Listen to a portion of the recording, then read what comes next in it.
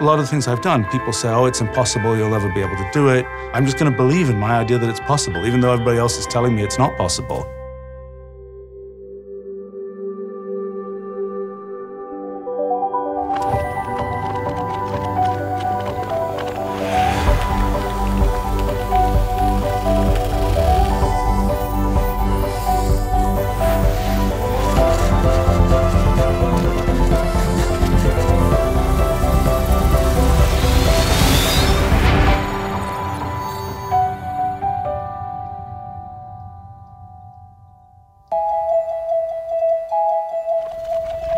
My name's Stephen Wolfram. That's easy.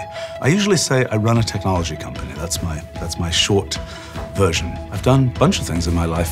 Four big projects: Mathematica, New Kind of Science, Wolfram Alpha, and Wolfram Language.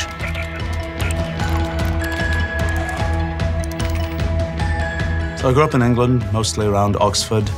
For some reason, I got interested in science when I was really young. I think I even taught myself to read out of science books that had, you know, picture caption type things. I first sort of uh, met a computer seriously when I was 12 years old. By the time I was interested in the space program, it was 1960s, and that was kind of the hot, exciting thing. Then I got interested in kind of what were the foundations of all this stuff, and that got me into physics.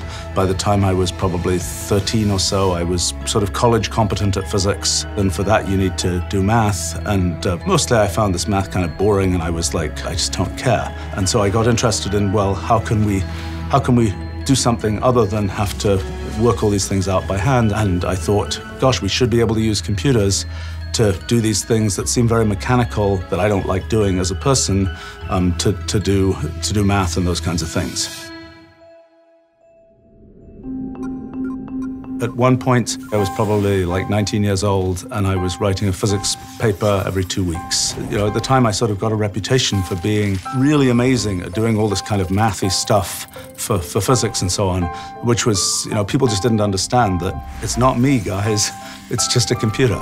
That time, I sort of thought, I know how to do this now. There are other things I, I, I want to think about, more ambitious kinds of things I might do. First thing that I wanted to do was to figure out how to build a tool that would let me do uh, sort of more efficiently, more of the same. I mean, I suppose at some crazy level, a paper every two weeks wasn't good enough for me. I wanted to be able to, to do more than that. And I realized actually computers are in some ways more fundamental than the physics that I'm studying. But at the time, I was thinking, you know, physics is the thing I'm trying to do, computers are just a way to help me get there.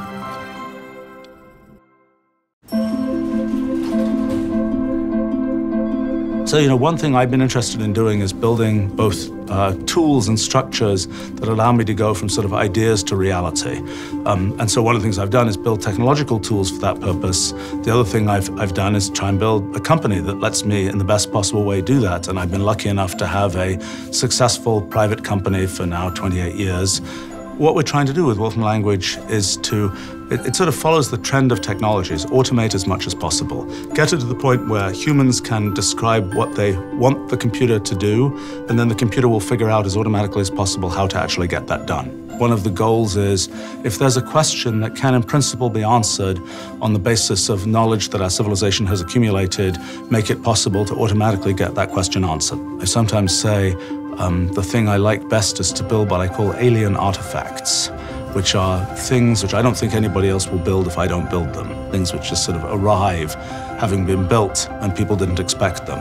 I, perhaps it's some kind of uh, uh, perversity that I particularly like building these things where people say, it's just impossible, no such thing can exist, and nobody kind of thinks of it, and then turns out one can build it. And, you know, that's kind of, I, I get a kick out of that.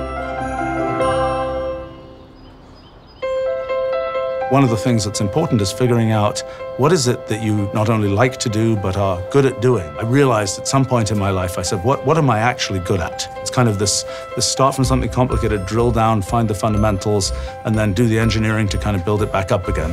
That, that's what I seem to be good at. It's very hard for one to know, you know, how far can one go, so to speak? What is your real, real skill? And, and sometimes, you know, people will say, well, I'm, I'm good at math. So it doesn't necessarily mean you should be a mathematician.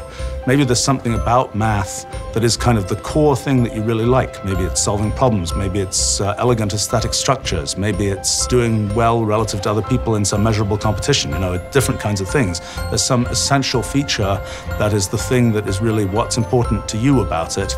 And there's often many different kinds of activities and occupations that really uh, you know, tie into that particular feature. And to get to that point, you have to develop a certain degree of, I don't know whether it's confidence or arrogance, to just say, I'm pretty sure I know what I'm talking about. I'm just going to go ahead and do it. I don't really care what other people say.